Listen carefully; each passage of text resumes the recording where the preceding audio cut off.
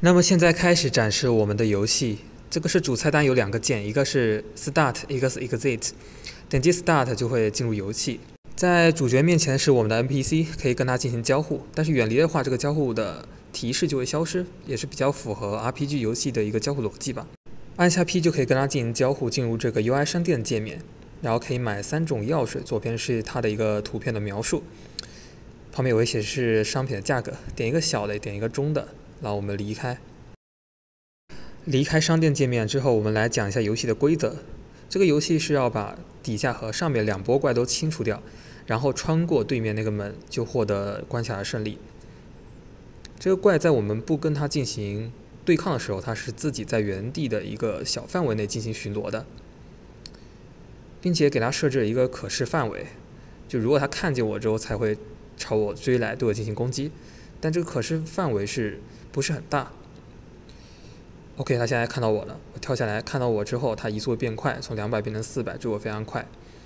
我在场景里面搭建一个箱子，我跳上来，我就可以躲避攻击。即使他看见我，他也是打不到我的。让我下来打这个小怪，对他进行一波偷袭，然后利用中间这个箱子穿来穿去，我们可以在左右横跳打这个怪。这样设计的目的是为了防止对面三个怪同时打我们，我们会处理不过来，所以给玩家设置一个中间可以横跳箱子。这个要玩家自己去发掘它的如何来利用这个箱子。第二个比较好处理的方法是。我们可以跳这个怪头上。我把主角和怪设置的这个碰撞方式，他们不会重叠，而且有一个阻挡效果，所以我可以跳他头上，并且因为这个怪的身高不是很高，我可以跳上来。但是如果你看现在这个比较大的怪也看到我们了，因为我们刚才离他那个范围太近，他也看到我们，他跳下来了。他这个身高比较高，我们就没办法用刚才那种方式来躲避攻击。这种情况下我们要怎么办呢？如果玩家细心一点的话，会发现右边还有一个箱子，这边有个浮空很奇怪的箱子。这个箱子的作用是什么呢？我们走过来，走到这个箱子来这边，先吸引它，吸引怪，吸引过来。我们发现怪不跟踪我们了，因为怪丢失了视野。哎，然后我们再出来把这个怪偷袭打死掉。因为我在给怪的设置里面，如果它丢失我视野之后，它是不会再进行追踪的。虽然它在我在箱子外的时候看到我，但它不会跟踪我到这里来。我可以利用这个箱子来进行一个卡视野，快速把这只怪打死掉。OK，怪物倒地了，进行一个死亡动画的播放，然后把最后一只怪也打死。然后上面那边原本是有两只绿油油的怪，但是有一只跳了下来。其实这两只怪是不同的，我等会会说一下。其中刚才掉下来那只怪，它的可视范围半径会比较大，但是刚才那只怪它的攻击速度是比较小的。也就是说，后面这只怪它攻击速度比较大，攻击速度大会产生什么情况？如果我们直线走过去，因为我们没有可以躲避的空间，很容易就会被它这个攻击打到。那这里处理最后这只怪比较好的一个方式是什么呢？就是找这个捷径，从侧面这个地方是可以跳过去的。为了防止刚才直线过去会被卡住，我给角色设置的这个跳跃高度是非常高的，他可以从侧面直接跳过来。你看，他打我是很痛的，而且攻速非常快。如果我们刚才直线走的话是非常危险的，然后我们现在跳过来吃一下这个血包，这个血包是可以直接回满血。我在整个地图设置了两个，左边也是有一个的。然后我们跳回来跟他继续搏斗，但是这里还是有一个问题，就算我们从比较空旷的地方跳过来，还是有个问题。你看这里，就是我打了一下平 A 之后，我这个人物他是有一个后摇的。也就是说，即使玩家先操控主角动手，但是如果怪物也出手的话，我还是会被打中，而且他打我伤害比我打他伤害高。而且这里不像刚才在底下可以利用箱子来卡视野偷袭的这种方式了，因为我在上面是没有设置遮挡物的，我非常容易被他的通过旋转随机早点的方式很快能看到我。那如果我直接平 A 跟他对撸的话，我就会死亡，我这个游戏就输掉了。我这里重新录了两段，说明一下解决的方式。第一种是按下一键，我们看到底下有一个 UI 冷却系统，这个一键之后就是用了一个技能，把我的伤害给提高了，我可以 A 死他。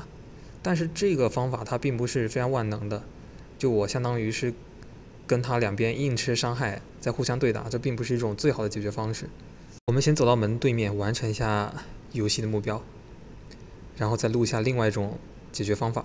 另外一种解决方法的话是利用敌人的后摇，就这设置里面并不是只有我们有后摇，敌人也是有后摇的。我们先触发他的攻击，然后再去偷他，这样我们对他造成伤害的时候，他也不会对我们造成攻击。因为在设置里面，怪物的后摇是比我们主角要大的。游戏展示就到这里了，然后接下来是蓝图修改的展示。首先是人物蓝图方面修改，这一部分原本是再生血量技能的设置，原本设置血量在低于默认值的时候就会开始自动回复，我们把这里的默认值一点零改成原本的一半，然后修改一下回血的速率。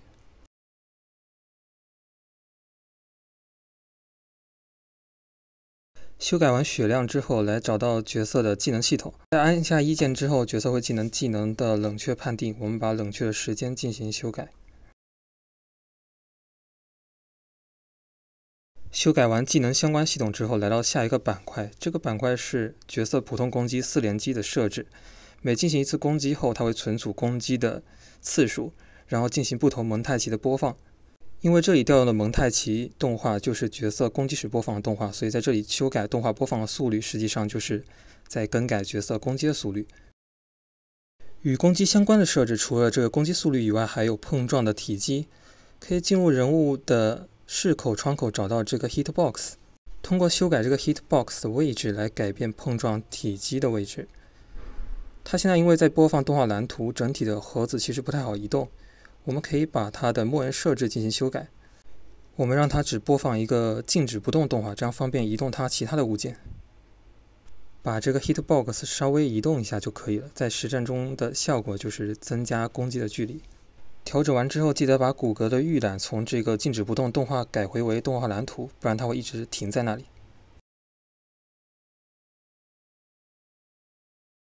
接着我们可以稍微修改一下人物自身的参数，比如说这个跳跃 Z 的速度，我们把它提高到七百的原因，就是为了刚才在游戏展示部分可以从侧面跳到怪物的身边。这里演示的话，可以先把它修改低一点，然后接着去找到角色最大行走速度和蹲伏速度，也可以进行一个修改。这样人物蓝图大致就展示完了。我们下一部分来到 AI 的行为树，行为树这块在游戏里面是控制怪物的行为逻辑。总共分为两个大块，左边的大块是它受到攻击和死亡的时候，右边大块是它的攻击模式以及它巡逻状态下两个方面。当进入左边这个受到攻击或者死亡的状态时候，它都会停一秒来进行一个判断，不会马上说回到右边的逻辑。在左边逻辑上设置了一个布尔值作为观察的变量，左边布尔变量如果也设置成未设置的话，就和右边条件一样的。这个是方便演示才进行一个修改，实际上是修改不了的。然后我们看一下巡逻这一块，还有攻击这一块，它有两个 changing speed，有两个修改速度的模式，其实就是怪物发现玩家之后，它的移动速度我们会给它进行一个重新设置。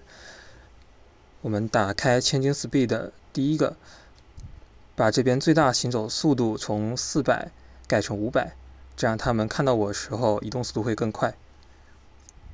然后打开千钧 Speed 二，这里其实是对速度进行一个重新设置，因为返回巡逻状态下的话，速度不能一直保持原本攻击状态下的速度，我们要把速度重新设置回它原本的默认值，也可以比原本默认值略微高一点，表示在受到攻击之后，已经相对处于一个比较警觉的状态。更改完两个千军 Speed 之后，我们再返回行为树，看看还有哪些地方可以进行一个修改。在巡逻状态的第四个行为 Wait 这里，它是每次巡逻之后。达到那个点之后，它会进行一个等待，可以把这个等待时间修改短一点，也就意味着巡逻次数更加频繁。然后来到攻击状态，这里有个 Move To，它是 Move To 的对象是我们的玩家。这里有个可接受的半径，因为怪物攻击范围实际上还是比较大，这个可接受半径可以稍微改大一点。这样行为树这块就差不多修改完了。接下来到第三个模块是动画蓝图，我们找这个 Boss 的动画蓝图来做一个演示吧。我们到状态机界面里面查看一下，这里有一个 Work Fast 的状态，进来可以修改它这个具体演示动画。这里原来是 Work Forward，可以改一个向后走的动画，但是因为具体并不是我们要的效果，这里是为了演示才把它进行一个修改。最后说一下控件蓝图这部分，就是刚才在作品展示的时候有一个黄色血条跟着逐渐消失的效果。在这里，UI 界面实际上是有两个血条的，一个红血条和一个黄血条。我们现在进入黄血条绑定的这个逐渐消失的函数来进行修改，发现它链接到的是人物蓝图中的背景血量这个参数。我们来到人物蓝图中，我们把这个缓慢消失的速率再进行一个修改，差不多就完成了。然后还有一个冷却系统的渐变特效，我们看一下这一个。Progress bar 它绑定的函数进来，它也是链接到人物蓝图里面的冷却这个参数，然后回到人物蓝图，修改一下冷却参数，蓝图展示部分到这里就都结束了。